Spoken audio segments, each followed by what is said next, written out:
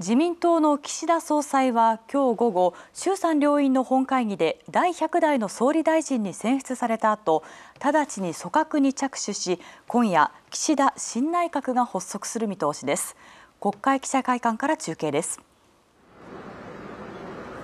はい新内閣の発足に先立ち岸田総裁は今朝自民党本部で強い覚悟を持って臨んでいきたいと決意を語りました。主案指名を受けて、まあ、これからが本当の意味でのスタートだと思っています。えー、強い思いで、強い覚悟を持って、えー、これからに臨んでいきたいと思っています。一方、総理官邸では臨時閣議が開かれ、菅内閣は総辞職しました。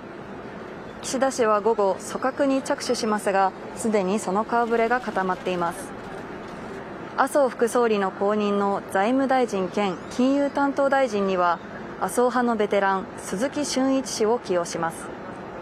また新型コロナ対策を担当する閣僚では厚生労働大臣に後藤茂之氏。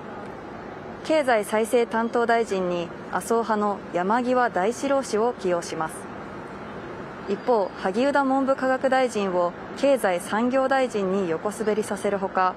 茂木外務大臣と岸防衛大臣をそれぞれ再任します。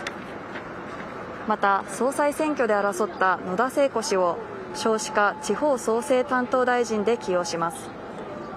今回初入閣は13人でそのうち3人は当選3回の若手からの抜擢で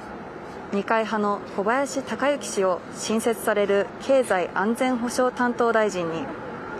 麻生派の牧島かれん氏をデジタル大臣に堀内詔子氏をワクチン担当大臣に起用します。岸田政権では皇居での総理大臣の信任式と閣僚の認証式を経て今夜正式に発足します。以上中継でした。